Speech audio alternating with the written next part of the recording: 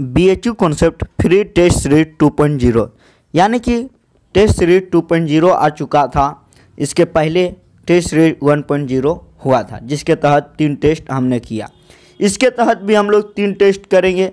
जो मतलब टोटल तीन और जो इसमें किए हैं पहला, सब मिलाकर टेस्ट नंबर फोर है।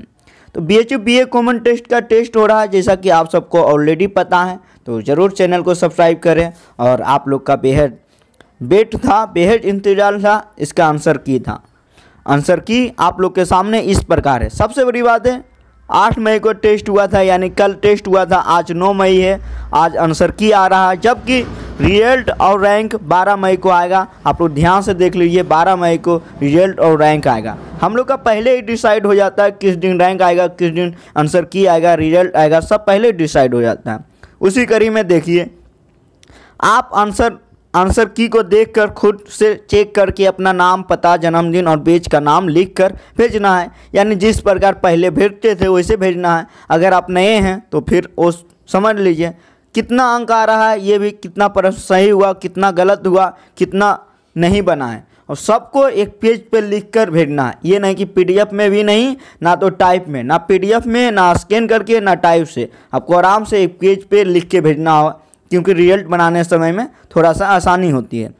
ईमानदारी पूर्वक भेजना होगा, मेरे व्हाट्सएप पे भेजना होगा, जिन्होंने भी टेस्ट दिया, जिसने भी टेस्ट दिया, उनको भेजना ही होगा, हर हालत में भेजना होगा, जो नहीं दिए हैं, उनको तो पहले ही आउट किया जा चुका है। आप सब सूचना पे ध्यान दें, आप सबको जो सूचना दिया जाता है, ध्यान दीजिए, मेरा नंबर को आप लोग हमेशा सेव रखिए, क्योंकि ब्रॉडकास्ट चलाते हैं, जो सेव रखेंगे, उन्हीं के पास जाएगा, सूचना है। ध्यानपूर्वक आंसर सीट को बनाया गया है। हो सकता है टाइपिंग मिस्टेक हो गया हो, इसलिए इसको लेकर शांति बनाए रखेंगे। हो सकता है टाइपिंग मिस्टेक हो गया होगा, कोई बड़ी बात नहीं है। कोई आंसर ए का बी हो गया हो तो वो सब में आपको घबराना नहीं है। आंसर की से ही मिलाकर आपको भेजना है, कितना सही हो रहा है।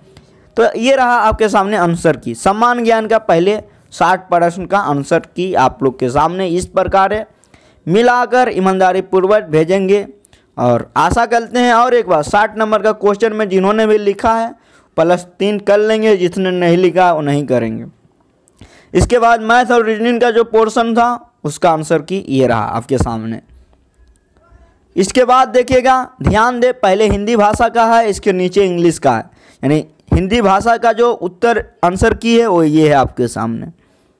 ध्यान से मिलाएँगे आप लोग। उसके बाद इंग्लिश भाषा का आंसर की आप लोग के सामने ये रहा। तो बहुत बहुत आप सबको शुभनाएँ शुभकामनाएँ ऑलवेज हैप्पी के साथ हमेशा खुश रहिए और तैयारी मन से कीजिए, मिलते हैं नेक्स्ट वीडियो में और आप लोग व्हाट्सएप पे भेजिए कितना अंक आपका आ रहा है।